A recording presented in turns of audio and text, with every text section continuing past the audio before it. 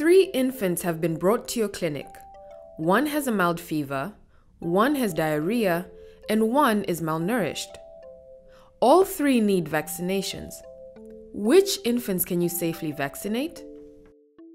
In fact, all three infants can be safely vaccinated. Many healthcare workers do not like vaccinating an infant who is ill, but delaying immunization puts them at risk of vaccine preventable diseases when they could receive the protection safely. With a few exceptions, infants should be vaccinated whenever possible.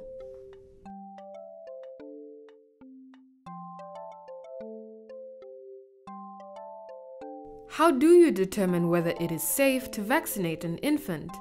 To begin, assess the infant. For the first dose of a vaccine, assess the general status of the child to rule out any signs of serious illness. For a subsequent dose in a vaccine series, ask the caregiver whether any adverse events occurred after the previous dose, such as anaphylaxis, a severe allergic reaction. There are very few instances when you should not immunize the infant. First, do not give a vaccine if the infant did have anaphylaxis or other severe reaction to a previous dose of the vaccine or a vaccine component.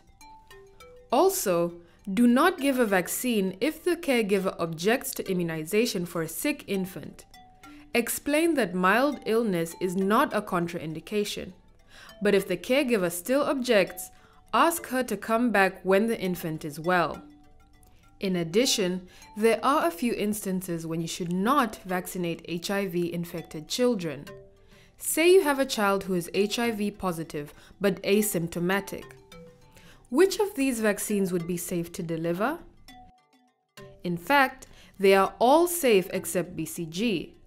BCG is the only vaccine on this list that is not safe for asymptomatic HIV positive children.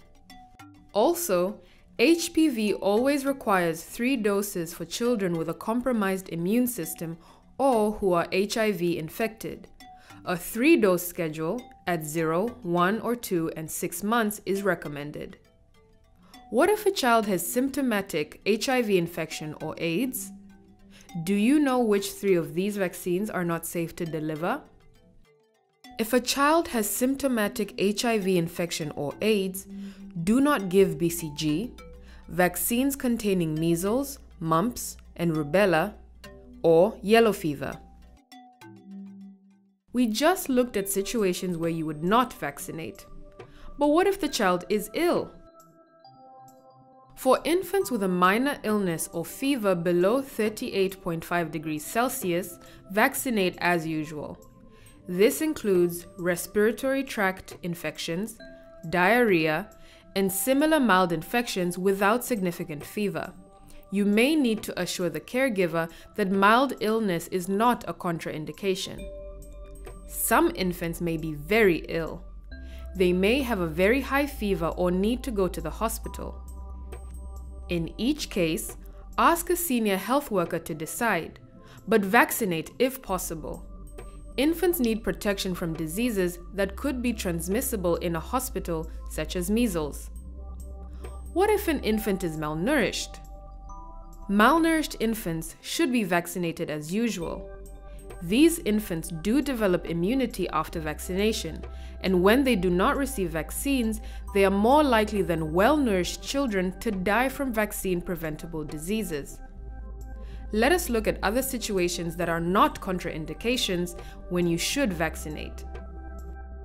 Infants should be immunized if they have asthma or allergies, except an allergic reaction to the vaccine, ongoing treatment with antibiotics, family history of adverse events following immunization, family history of convulsions, seizures, or fits, prematurity or low birth weight, history of jaundice at birth, ongoing breastfeeding, recent or upcoming surgery, chronic non communicable diseases of the heart, lung, kidney, or liver, and stable neurological conditions such as cerebral palsy or Down's syndrome.